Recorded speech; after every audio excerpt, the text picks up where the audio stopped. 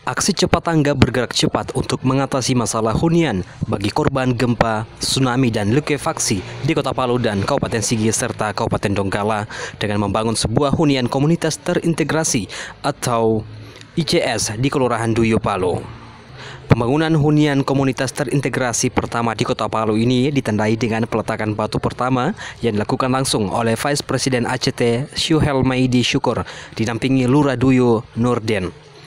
Kegiatan ini selain dihadiri perwakilan pemerintah Kota Palu, juga dihadiri oleh warga yang menjadi korban bencana alam.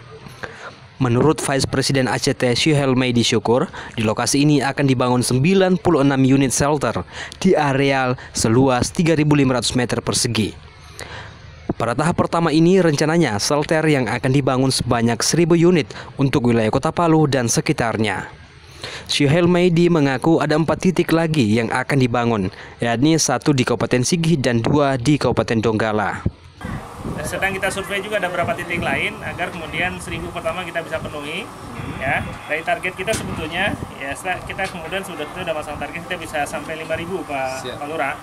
Jadi mohon doa juga buat masyarakat dan juga para donatur kita akan bangun 5000 shelter di sini ya baik bentuknya shelter seperti ini maupun nanti uh, hunian shelter family yang kemudian ditaruh di tanah tanahnya masing-masing.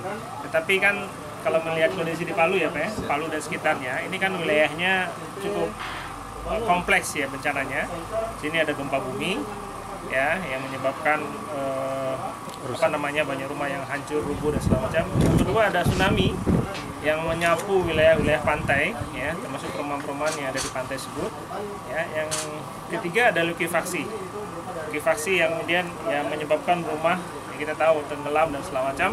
Uh, tanggapan saya sebagai pemerintah setempat saya mengucapkan terima kasih sekali kepada ACT Pak Suhel yang dipimpin oleh Suhel Maji Syukur ya, untuk masyarakat kami di Kelurahan Duyu kami sangat-sangat berterima kasih di mana eh, aksi cepat tangkap ini sangat luar biasa membantu masyarakat kami yang di mana saat ini mereka masih menempati tenda-tenda darurat yang di mana menurut kami tidak bertahan lama dengan datangnya ACT ini kami sangat-sangat terbantu dan bersyukur atas bantuan dari ACT.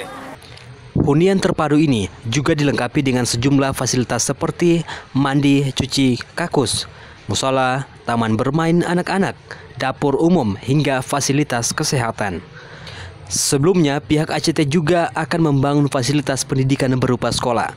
Namun setelah dilakukan survei, sekolah yang sudah ada di sekitar lokasi itu umumnya masih layak untuk digunakan.